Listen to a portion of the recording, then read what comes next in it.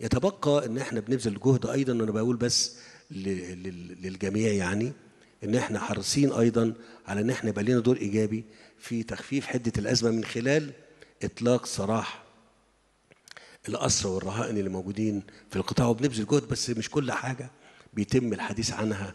يعني لما بتخلص بنبقى هنعلن عنها.